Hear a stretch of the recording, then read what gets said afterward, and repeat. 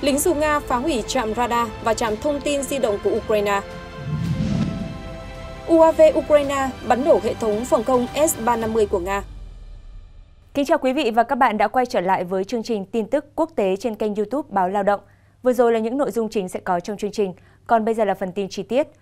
Thưa quý vị, liên quan đến chiến sự căng thẳng giữa Nga và Ukraine, ngày 7 tháng 12, Bộ Quốc phòng Nga đã công bố đoạn video cho thấy lực lượng lính xù nước này sử dụng UAV Lancet để phá hủy hai trạm radar và một trạm liên lạc di động của Ukraine tại hướng ngạn sông Donetsk, vùng Kherson.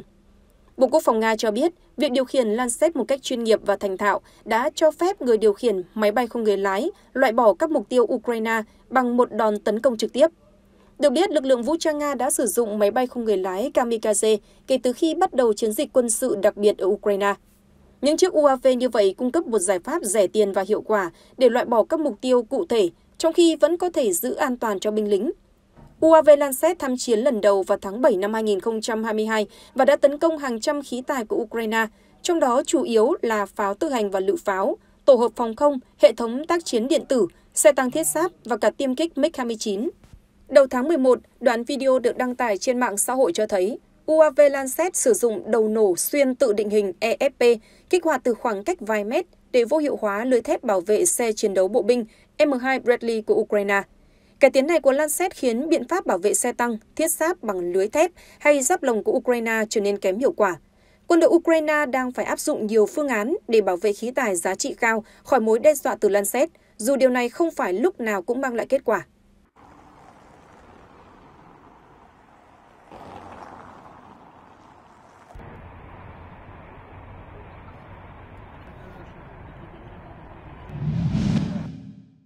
Chuyển sang tin tức đáng chú ý khác. Ngày 6 tháng 12, Bộ Quốc phòng Ukraine đã đăng tải đoạn video ghi lại cảnh quân đội nước này bắn nổ một hệ thống phòng không S-350 VTS của Nga. Cuộc tập kích do vệ binh quốc gia Ukraine tại Kherson thực hiện. Trong video, UAV của Ukraine đã đánh trúng S-350 gần một tuyến đường cao tốc. Dù tín hiệu bị mất trước khi UAV va chạm với mục tiêu, nhưng một UAV trinh sát khác đã xác nhận việc hệ thống của Nga phát nổ và bốc cháy. Được biết, S-350 là một hệ thống phòng không mới, hiếm khi được phát hiện ở Ukraine và có giá khoảng 135 triệu đô la Mỹ.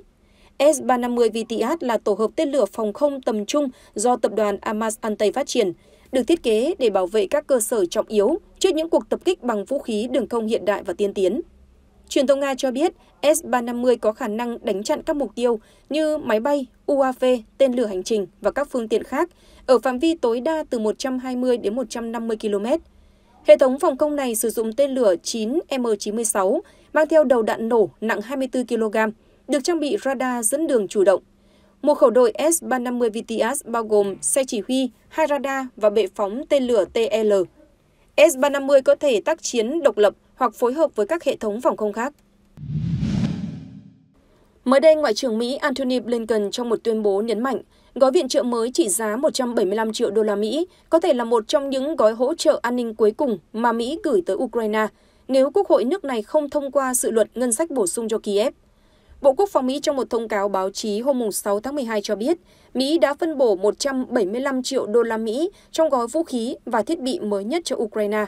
Gói viện trợ này bao gồm tên lửa phòng không AIM-9M và AIM-7, đạn bổ sung cho hệ thống HIMARS, đạn pháo 155mm và 105mm, tên lửa chống radar tốc độ cao HAM, tên lửa chống tăng to cũng như hệ thống chống tăng Javelin và AT-4.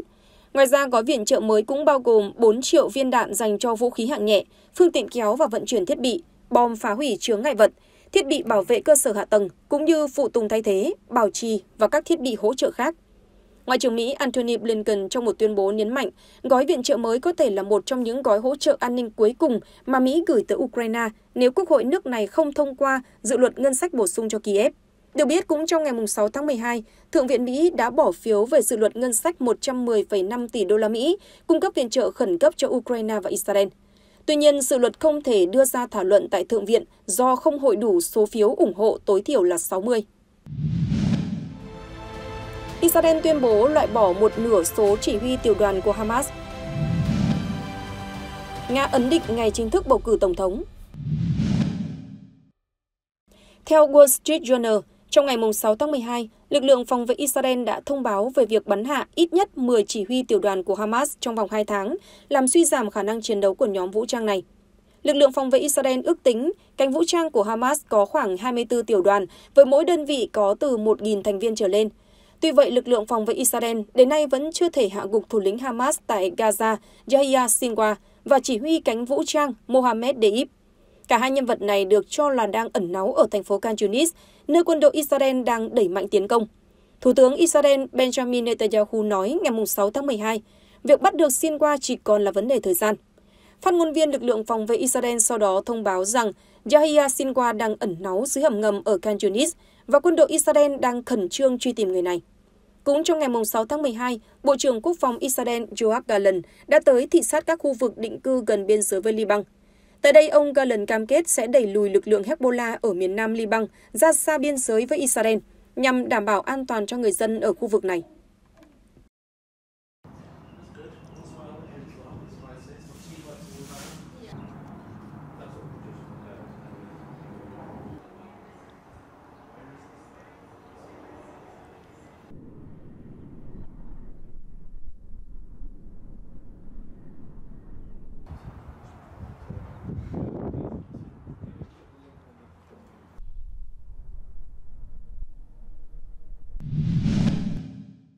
Ngày 7 tháng 12 theo giờ địa phương, Thượng viện Quốc hội Nga ấn định ngày 17 tháng 3 năm 2024 sẽ là ngày chính thức diễn ra cuộc bầu cử tổng thống tiếp theo. Trước đó, Tổng thống Nga Vladimir Putin từ chối bình luận về khả năng tranh cử thêm một nhiệm kỳ nữa. Ông nói rằng sẽ quay lại chủ đề này sau khi Quốc hội quyết định thời điểm tổ chức bỏ phiếu. RT dẫn lời người đứng đầu Ủy ban bầu cử Nga Ella Pamfilova cho biết, ngày 7 tháng 12, Ủy ban bầu cử Trung ương tổ chức cuộc họp chính thức đầu tiên về việc tiến hành bầu cử tổng thống Nga. Bà Pavlova nhấn mạnh, cuộc bầu cử tổng thống được tổ chức nghiêm túc sẽ đảm bảo củng cố nước Nga về nhiều mặt. Chủ tịch Thượng viện Nga Valentina Matvienko gọi cuộc bầu cử sắp tới là lịch sử và nói, sự thành công trong phản ứng của Nga trước những thách thức lớn của thời đại phụ thuộc trước hết vào cuộc bầu cử tổng thống này. Tổng thống Vladimir Putin trước đó từ chối bình luận về khả năng tranh cử thêm một nhiệm kỳ nữa, nói rằng ông sẽ quay lại chủ đề này sau khi Quốc hội quyết định thời điểm tổ chức bỏ phiếu. Ông Putin phát biểu tại phiên họp toàn thể của Diễn đàn Kinh tế Phương Đông hồi tháng 9. Khi quyết định được đưa ra, cuộc bầu cử sẽ được công bố, ngày tháng sẽ được ấn định, sau đó chúng ta sẽ nói đến chuyện này.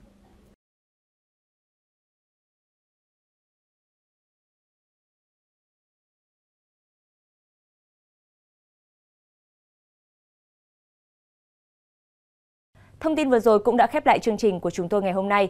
Xin cảm ơn sự chú ý theo dõi của quý vị. Xin kính chào và hẹn gặp lại.